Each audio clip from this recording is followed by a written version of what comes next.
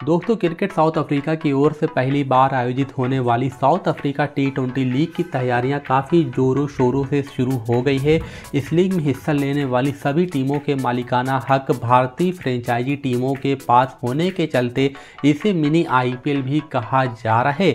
आप सभी को बता दें कि ये मिनी आईपीएल जनवरी और फरवरी के महीने में आयोजित किया जाएगा।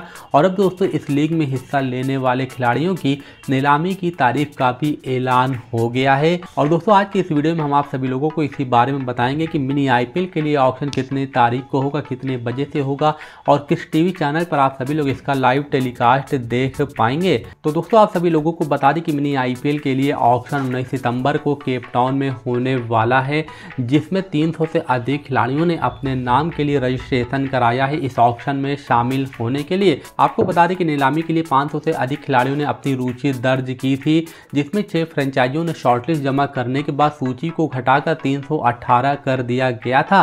नीलामी केपटाउन इंटरनेशनल कन्वेंशन सेंटर में होगी, जिसमें सभी टीमें अपने स्क्वाड को पूरा करेंगी। आप सभी को बता दें कि उन्नीस तारीख को होने वाला ऑप्शन शाम के साढ़े पाँच बजे से शुरू होगा और आप सभी लोग इस ऑप्शन का लाइव टेलीकास्ट स्टार स्पोर्ट्स पे देख सकते हैं। तो दोस्तों, आप सभी लोग मिनी आईपीएल के लिए कितना एक्साइटेड है, अपनी राय नीचे कमेंट में ज़रूर बताएँ।